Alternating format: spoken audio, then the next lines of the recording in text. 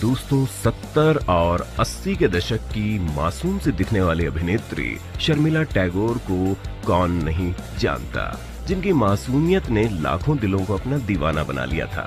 साथ ही बॉलीवुड में एक अलग ऊंचाई पर इन्होंने अपनी पहचान बनाई। शर्मिला टैगोर की जोड़ी हर एक एक्टर के साथ खूब कमाल दिखाती थी, लेकिन खूबसूरत और मासूम सी दिखने वाली ये अभिनेत्री अब फ़िल्मों से गायब है और अब फ़िल्मों में नज़र नहीं आती। तो कहाँ गई शर्मिला टैगोर? क्या करती हैं? कैसे दिखती हैं? ये सभी बातें जानने के लिए आप हमारे वीडियो के एंड तक बने रहें और साथ ही शर्मिला टैगोर की खूबसूरती के लिए वीडियो को लाइक करना ना भूलें। दोस्तों, शर्मिला टैगोर का जन्म 8 दिसंबर को 1946 में हैदराबाद के एक बंगोली परिवार में हुआ। वैसे तो शर्मिला फ़िल्मों में काम नहीं करना चाहती थी। लेकिन जब उनको फ़िल्मों के ऑफ़र आए तो वो फ़िल्मों में काम करने से मना भी नहीं कर पाई। और महज तेरह साल की उम्र में सत्यजीत रॉय की फ़िल्म, अपूर संसार में लीड एक्ट्रेस के रूप में काम उन्होंने शुरू कर दिया।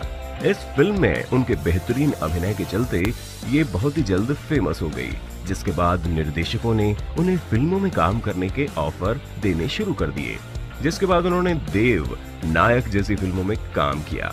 और जल्द ही शर्मिला पूरी दुनिया में फ़ेमस हो गई।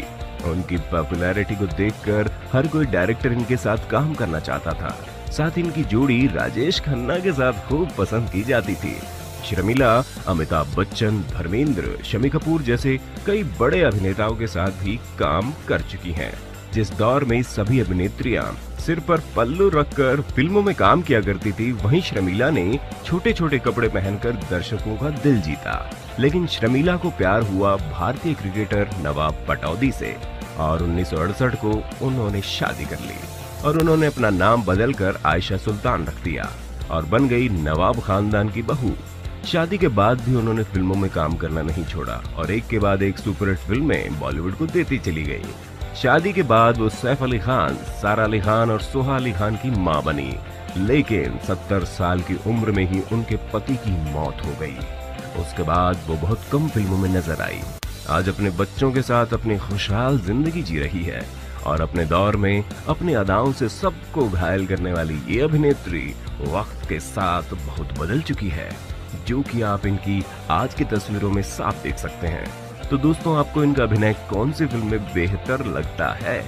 आप हमें कमेंट सेक्शन में कमेंट करके ज़रूर बताएँ। साथ ही बॉलीवुड के गुमनाम सितारों के बारे में जानने के लिए आप हमारे चैनल को